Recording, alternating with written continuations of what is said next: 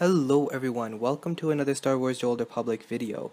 And today we are going over some of the changes that we see with the new patch 4.7 because this patch has brought us a lot of cosmetic changes, a lot of changes with the user interface, with how packs look, with just how regular items look. And I want to go over some of the ones that I have just noticed initially uh, right off the bat. Uh, first of all, as you guys can see, the cartel market sign has changed. Now it's up here much smaller and it's next to this cartel market item stash. So obviously this is associated with the new pack opening user interface. So this will work just normally. You open it up, you see all the cartel market sales.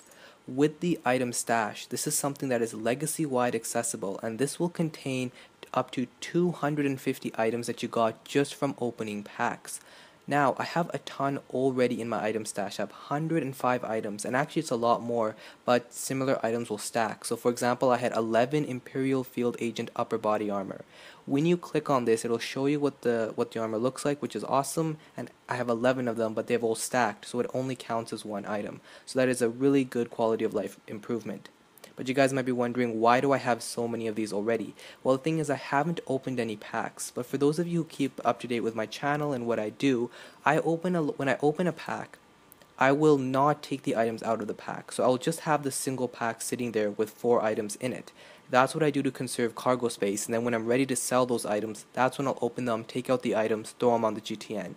Well, what ended up happening was when the new pack was released, I literally had cargo bays full of those items okay? All these cargo bays did not have these items in it. They just had the single packs sitting there.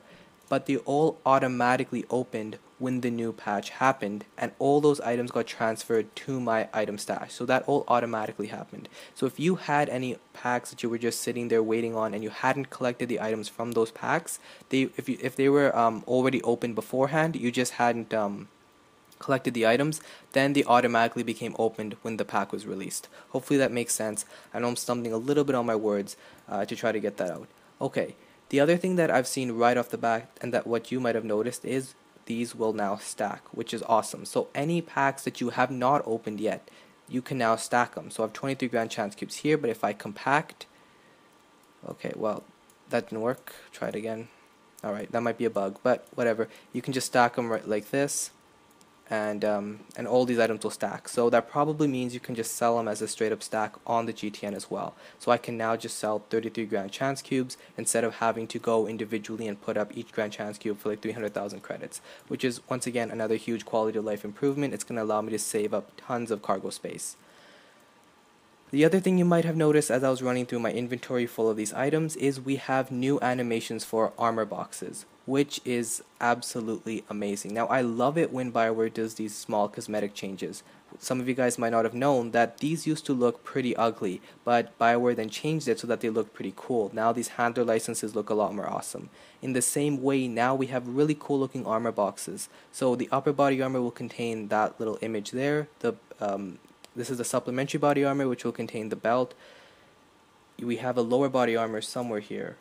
Yeah, here we have the lower body armor, so it looks a lot cooler. It emphasizes the items that come out of the pack. So, for example, the lower body armor will contain these um, these pants, and also if you just open the box, it should just open normally.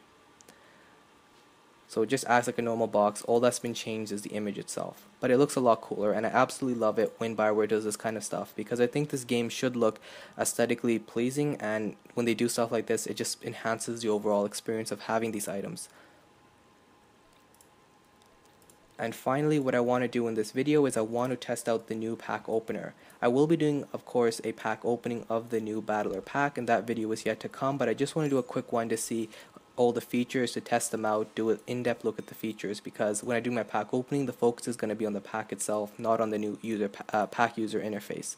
So let's let's see what happens. I haven't tested this out at all. I just got this super crate. It was sitting there on my unclaimed items pile, and so I want to see how everything has changed, how it looks now when you want to open a pack. So right when you open this super crate, they automatically stack, which is awesome. And now they only take up one um, they only take up one spot. Now, if you do want to go ahead and sell this pack on the GTN, you can just split it and put it on the GTN as normal. Okay, there we go. So you can just split it like that, nothing changes. You have to wait for the cooldown timer to run out and you can just throw it on the GTN if you're looking to sell it. But if you're looking to open it, when I left click, it automatically goes to the pack viewer. So there's no like tab for the pack viewer, it's just when you have a pack and you left click it, that's when the pack viewer opens. And it lets you know about all the packs that you have. So for example, in my inventory, I have 33 grand chance cubes. As you guys had seen, now you can see it here and I can open them. And I have the visionary pack. I have five of them. So let's see what happens when I click open pack. Do one pack at a time. This cannot be undone. Okay. And that's a really neat looking animation. I love it. It doesn't take more time than what a normal pack opening would take. I know a lot of people have been saying this makes it less efficient. I honestly don't think it does at all. It doesn't really make pack opening less efficient. It just makes it so that instead of sitting there waiting for three seconds while your character does that little cheer with his hands up, you can now see a much cooler animation and then I can click reveal all but you can also just click it individually and see what you get out of there so this is the first item I have an advanced turquoise eviscerating crystal it identifies it as an item modification it also gives you how many of those you're getting and then you have the companion gift you have the scavenge scrap and the wartime ambassador's upper body armor so a few things I love about this is firstly I uh, you know, it shows you what the item is. It has a little bit of a cooler image. So this will show you what the crystal looks like rather than just having the crystal as an image. This will actually show you what the armor looks like rather than just having that armor box. So that's pretty awesome. I think it's going to follow this general rule. So it will give you one item, then it will give you a companion gift, then it will give you the miscellaneous scavenge scrap, and then it will give you another item. Uh, so that you know kind of what to expect. You're not sitting there hoping you're going to get an item and then it, it turns out it's a companion gift. So that's the general rule I do believe it follows. Now I can click done which will just take me back to this screen or I could have clicked next pack. So I'll, I'll click never show that again because there's no need for that.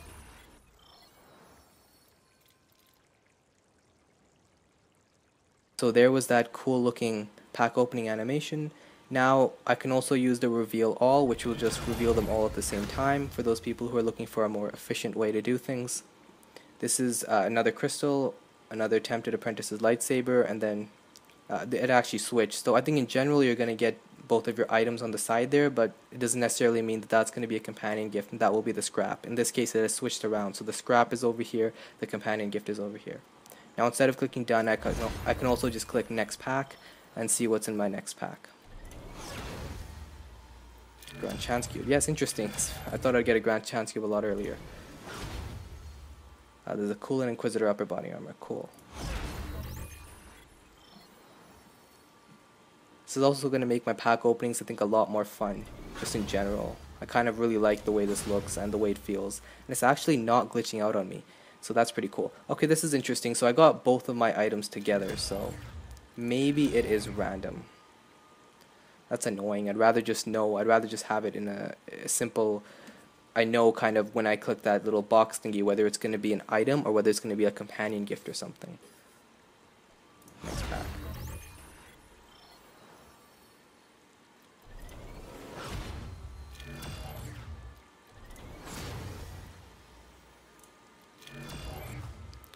Now, I, I don't think it's a glitch, but they don't show you what the decoration looks like. So I know they show you what the armor boxes look like. So instead of just giving us a normal armor box, they show us what the actual armor set looks like. In this case, it would have been nice if they've just done the same thing and shown us what the decoration looks like in a generic, you know, stronghold room or whatever. But I guess you're just going to show us this um, little stronghold image.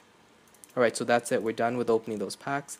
So now we can go over to my item stash and the item stash will contain those items that I just opened. Now unfortunately it's a little bit messy right now because of all those packs that I just automatically opened but um, but it does have this nice little icon here which shows that you just recently got this item and then when you click on that item the icon is removed. So I can just run through my item stash here and I can clearly see the new items which I got. Now I did get three medical centrifuges and they all stacked so it only counts as one item. So my total item count went up from like 105 to 106. Not sure how that happened.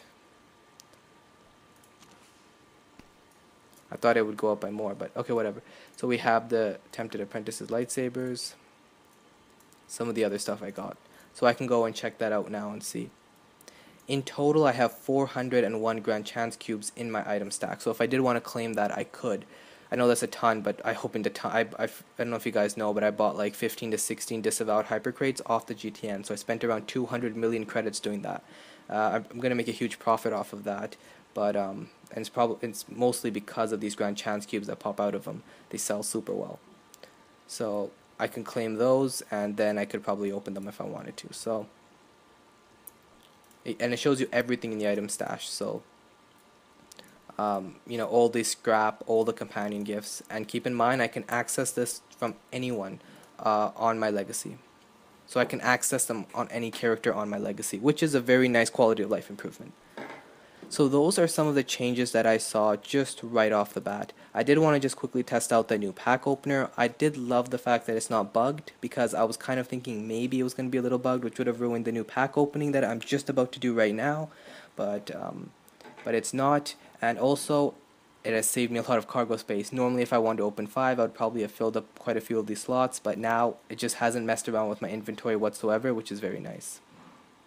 So I hope you guys enjoyed this video and I hope you guys will enjoy the new patch. I'll see you in the next one.